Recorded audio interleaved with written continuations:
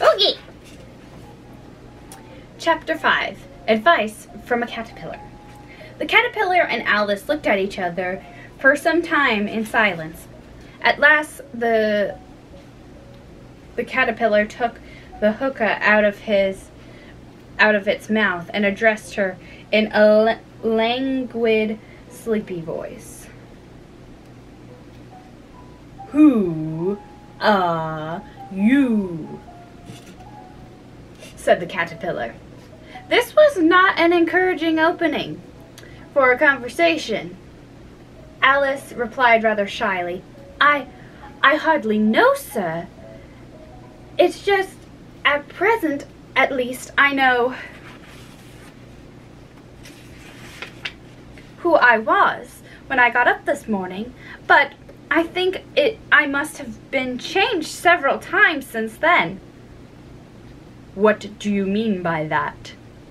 said the caterpillar sternly. Explain yourself. I can't explain myself, I'm afraid, sir, said Alice, because I'm not you, myself, you see. I do not, I don't see, said the caterpillar. I'm afraid I can't put it more clearly, Alice replied very politely, for I can't understand it myself to begin with. And being so many different sizes in a day is very confusing. It isn't, said the caterpillar. Well, perhaps you haven't found it yet, so yet, said Alice. But when you have to turn, but when you have to turn into a chrysalis, you will someday, you know. And then after that into a butterfly, you th- I should think you'll feel it a little queer, won't you? Not a bit, said the caterpillar.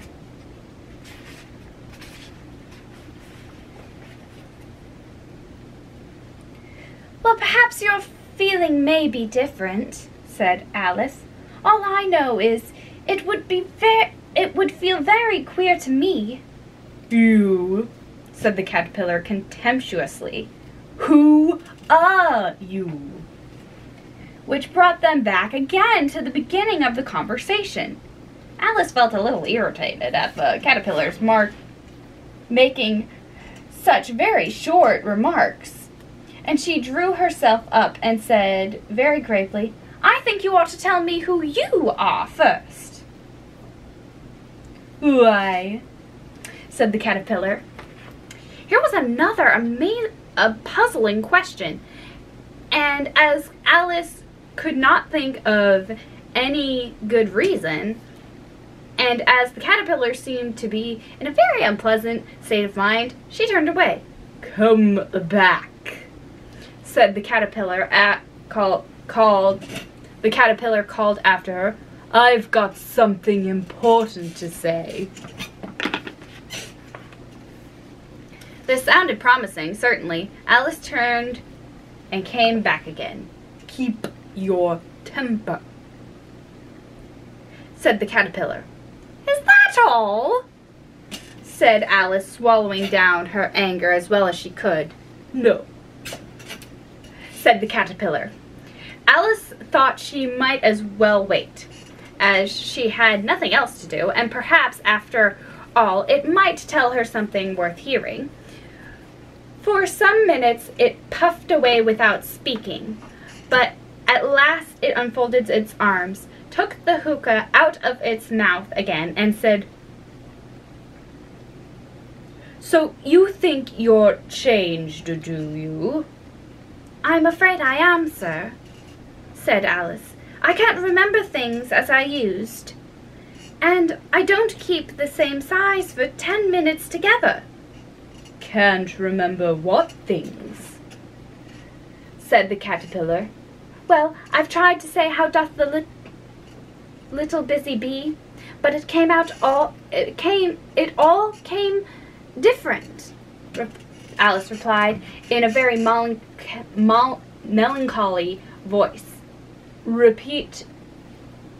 Repeat, you are old, Father William, said the caterpillar.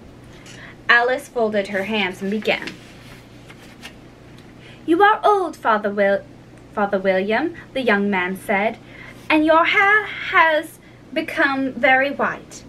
And yet you incessantly stand on your head. Do you think at your age that it is right? In my youth, Father William, replied his son, I feared it might in- injure the brain. But now that I am perfectly sure that I have none, why I do it again and again. You are old, said the youth, as I mentioned before, and have grown unco- most uncommonly fat. Yet, yet you turned a black back somersault in that in at the door. Pray, what is the reason for that? In my youth, said the sage, as he shook his grey locks, I kept all my limbs very supple. By the use of this ointment, one shilling the box, allow me to sell you a couple.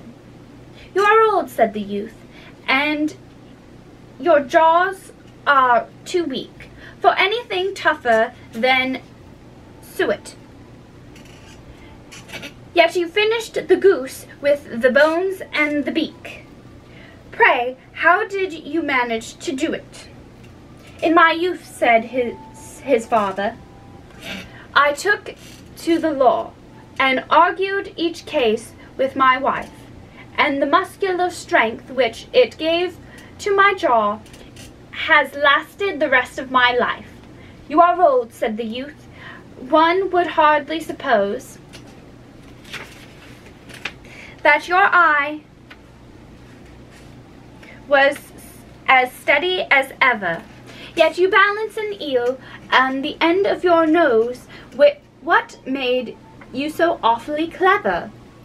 I have answered three questions, and that is enough, said his father. Don't give yourself airs.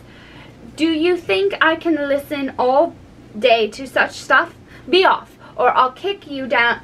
I'll kick you downstairs. That is not right, said the caterpillar. Not quite right, I'm afraid, said Alice timidly. Some of the words have got altered.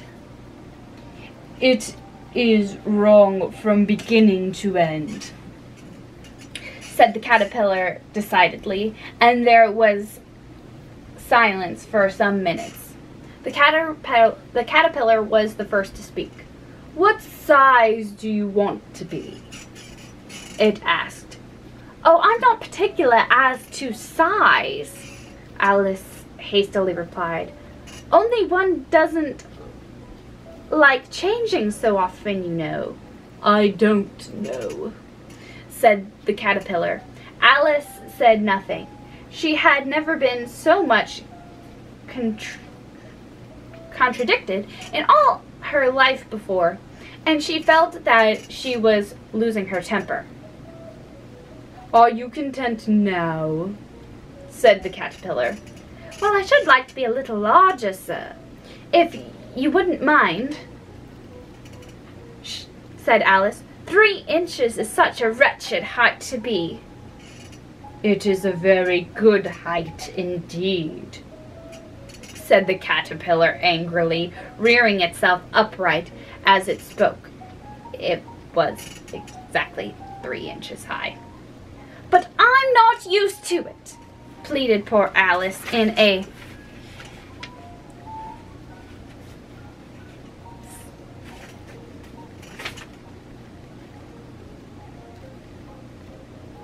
piteous, piteous tone. And she thought to herself, I wish the creatures wouldn't be so easily offended. You'll get used to it in time, said the caterpillar, and put the hookah into its mouth and began smoking again. This time Alice waited patiently until it chose to speak again. In a minute or two, the caterpillar took the hookah out of its mouth and yawned once or twice and shook itself. Then it got down off the mushroom and crawled away into the grass, merely remarking as it went, One side will make you grow taller, and the other side will make you grow shorter. One side of what? The other side of what? thought Alice to herself. Of the mushroom. said the caterpillar, just as if she a- had asked it out loud. And in another moment, it was out of sight. Alice remained looking thoughtfully at the mushroom for a minute, trying to make out which which were the two sides of it. And as it was perfectly round, she found this a very difficult question. However, at last she stretched her arms around it as far as they would go and broke off a bit of the edge with each hand. Now, which is which? she said to herself, and nibbled a little of the right hand bit to try the effect. The next moment, she felt a violent blow underneath her chin. It had struck her. It had struck her foot. She was a good deal frightened by this very sudden change, but she felt that there was no time to be lost, as she was shrinking rapidly. So she set to work at once to eat some of the other bit. Her chin was pressed so cl- closely against her foot that there was hardly room to open her mouth. But she did it at last and managed to swallow a morsel of the left hand bit. Come, my head's free at last, said Alice in a tone of delight, which changed to alarm in another moment, when she found that her shoulders were nowhere to be found. All she could see when she looked down was an immense length of neck, which seemed to rise like a stalk out of a sea of green leaves that lay far below her. What can all of that green stuff be? said Alice. And where have my shoulders got to? And oh, my poor hands! How is it I can't see you? She was moving them about as she spoke, but no result seemed to follow, except a little shaking among the distant leaves. As there seemed to be no chance of getting her hands up to her head, she tried to get her head down to them, and was delighted to find that her neck would bend without ease about easily in any direction, like a serpent and had just succeeded in curving it down into a graceful zigzag and was going to dive in among the leaves, which she found to be nothing but the tops of the trees which, under which she had been wandering, when a sharp hiss made her draw back in a hurry. A large pigeon had flown, flown into her face and was beating her violently with its wings. Serpent! screamed the pigeon. I'm not a serpent, said Alice indignantly. Let me alone.